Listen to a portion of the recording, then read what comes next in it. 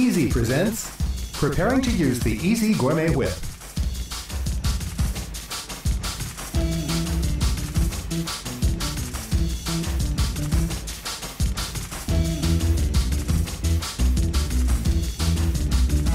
The iSi Gourmet Whip is a real multifunctional tool for the kitchen, making light and fluffy espumas, warm and cold sauces, whipped creamy soups, cream, or desserts.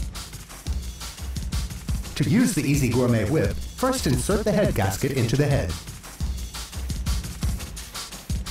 Now screw the matching decorator tip onto the dispensing valve, not too tightly, just lightly, until it no longer turns.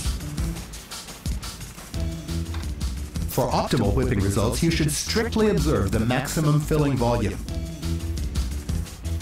For this, a measuring cup and the iSi funnel and sieve are helpful tools.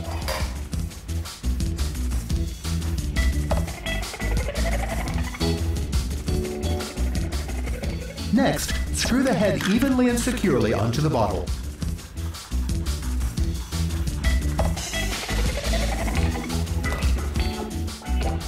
Now insert the original iSi Cream charger into the charger holder and screw the charger holder onto the piercing mechanism.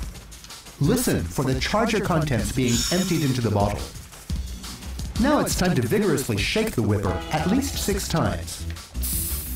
After this, the charger holder can be unscrewed and the empty charger can be recycled. When using a 1 liter iSi Whipper, you should use two cream chargers consecutively.